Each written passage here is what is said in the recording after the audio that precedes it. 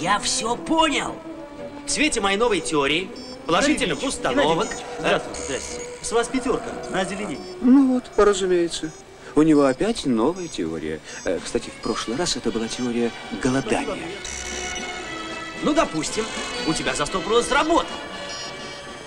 Ты понял, что твоя писанина никому не нужна. Неудача рождает отрицательную установку.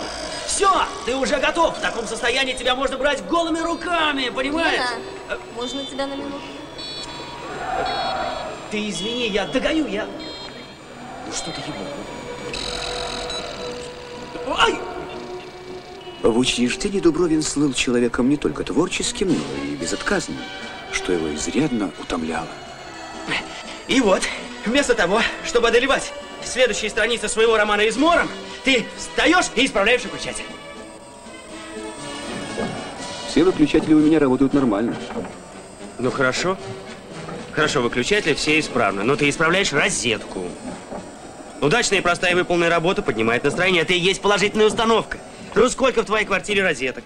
Ну 9, ну 10, а что дальше? м?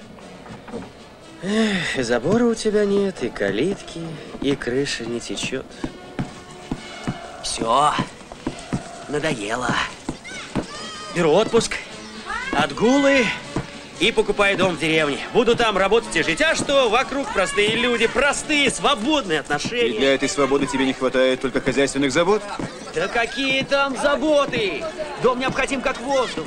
Дом для горожанина в деревне – это неиссякаемый источник положительных установок. Да и знаешь ли ты у автора, сколько стоит деревенчатый дом с настоящей русской печью недалеко от города? От трех до восьми сотен. Дешевле, чем этот многоуважаемый шкаф. Ну, это такой дом. А мне какой нужен? Короче, у тебя есть знакомый председатель колхоза? Ты же все-таки пишешь о селе. Знаешь, только, так сказать, отстающего без всей этой трескотни и шумихи. Директор вполне отстающего совхоза в числе моих знакомых был. Э, Только, Что только? ну, ты же знаешь, что тут нужен особый подход. Да? Слушай, тогда нужно обратиться к свату насчет подхода Федька ж гений. Ой, зачем? Да нет, это не вам. Это героям... Вот они. Э, Досрочного ввода метрополитена, ясно? Вы подходите, вручаете им цветы. Ну ведь его же еще не Да построили. это чепуха. Пока проявим пленку, пока смонтируем. Поймите, Виктор Аркадьевич Сватов работает на перспективу. Мотор!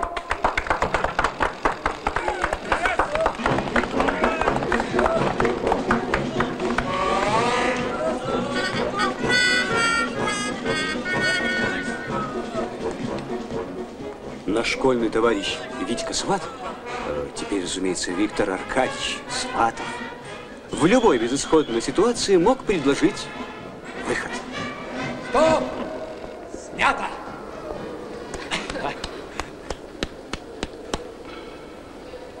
Задачу понял?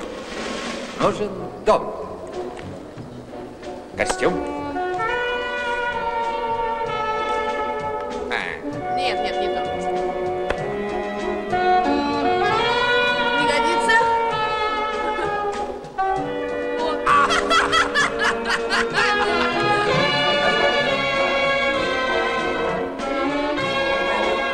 Отлично! Вот так можно ехать. Осторожно, двери. Дайте мне мегафон. Открываются. Поехали. Станция промежуточная. Перевели на мосты. Итак, смелее, друзья. Вперед! Мосты наведены. А вот и хорошо. Граждане, минуту, минуту, Держи. минуту. Товарищ, вы куда? Есть же очередь. А вы что, ветеран? Да нет. Вот и хорошо. Что может покорить аборигена? Дефицит. Опля. оп. Вот люди жили, а? Здесь была мельница, здесь беседка, а там аллея. А теперь это чье? А теперь все народное, все бесхозное.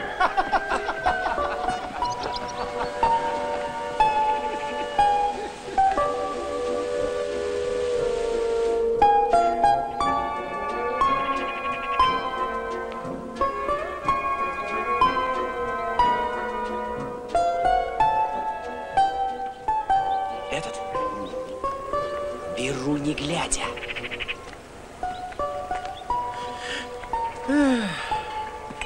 Не везло мне в жизни, товарищ кинорежиссер. Если б должность директора была стоящей, разве ж меня б назначили. Да, да, да, да. Но, может, мы сначала недвижимость осмотрим? А что смотрим? Что смотрим? Виктор Аркадьевич, берите пока я лопух, пока я не передумал.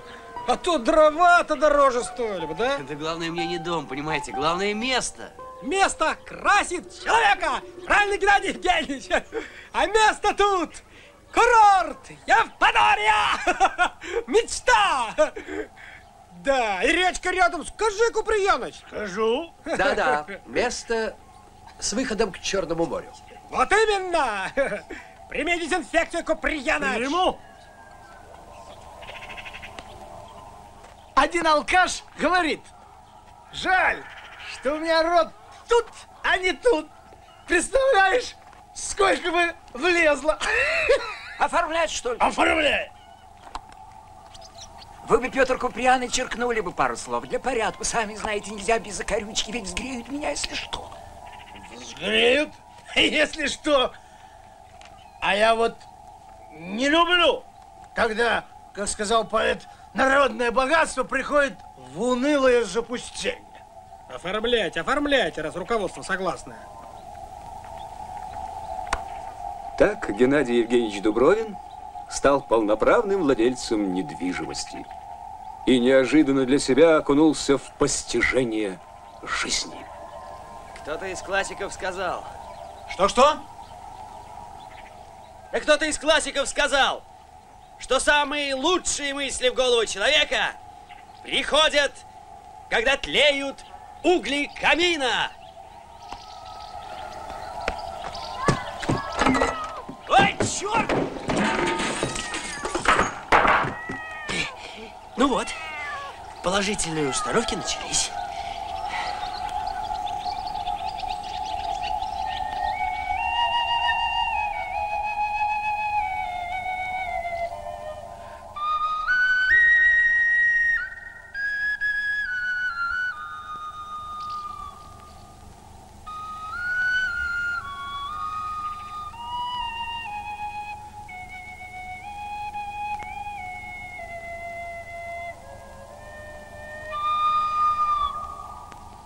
Соседи объявились сразу же.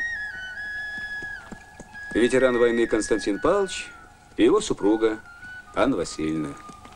Ну что, Что? дал коня Федька?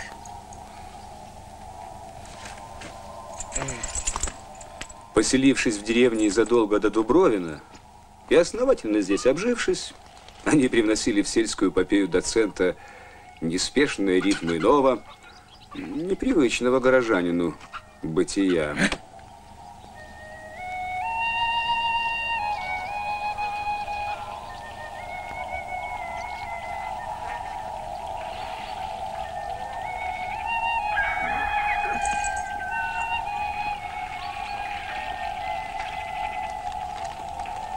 Ну, чего молчишь-то? Дал коня Федька, а? Буде ему с того коня. Плуги искали, искали, так и не нашли. На кой нам тот конь без плуга? Завтра, что ли, за плугу пойдешь? А, завтра удел на сено выходить. Первым делом, говорит, общественное. Жили соседи Дубровина на земле, подчиняясь ее законам, определенным ровным размеренным вращением хозяйственного календаря. Пахать, сажать, окучивать, завести дров, накосить сено, подправить забор.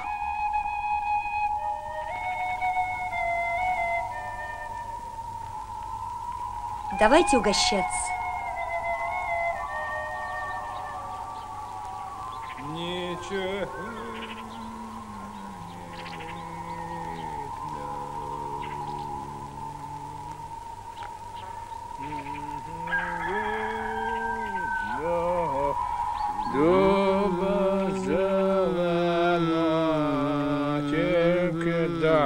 Подробу заменишь, окна и двери, хата что надо. Вроде дача. А Федька с мальцами подробу и заменит тебе. Только много возьмут. А, а, Он заменит. Такой же работничек, как и ты, одна шайка. А что, Федька, это бывший хозяин дома, что Ну ли? как же хозяин, хозяин. У него ничего своего-то отродясь не было, ни курицы, ни петуха. Вот оно, вот, его хозяйство. Жонка и та в городе. Одним словом, квартирант. Вы ешьте, ешьте. Спасибо, спасибо. И чего только в нем нашли? Пастух был. Теперь бригадиром стал. Исполнять обязанности. Чтоб порядок было. Да, да, да, да. О, Федька. Звучит как всегда. Поминках. О. Два венца! Чисто сгнили! О, четвером мы сработаем, если будете помогать. Но, Геннадий Евгеньевич, четыре сотни это будет стоить. Вот смета. Хм. Извините, но если честно, то пять. Что делать? Раз такие цены. Я же говорил О, Из вашего материала. Э, Обожает Федька стопку от курячую подбобку. Ну, Налей, ветеран.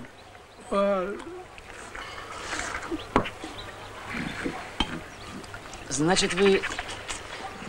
Значит, вы говорите два венца, да? Бревна нужны. Контору. О, сходи в контору. Там тебе не откажут. В контору? А далеко она?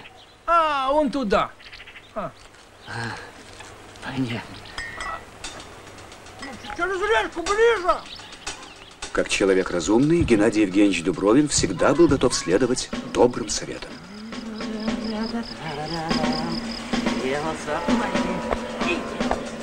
Вот и на этот раз, преисполненный оптимизм, он с головой погрузился в отношения с местным руководством в поисках первых положительных установок.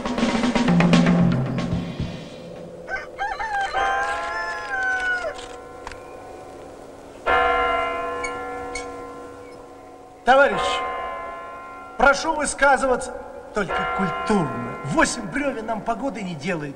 Тем более их все равно нет. Но выписать-то человеку можно. Только сначала надо оплатить. А зачем платить? Спишем на баланс. Тем более транспорта нет и все равно не будет. А бревна давно распустили, товарищ. На доски. Доцент просит культурно, неудобно отказать. Ну а кто возражает? Послезавтра выпишем, Правильно. а завтра пускай зайдет. Неправильно, завтра выходной. Магазин не работает. Прошло две недели. Ну как? Все нормально. Федор Архипович с мальцами не появлялся? Нет. Черт.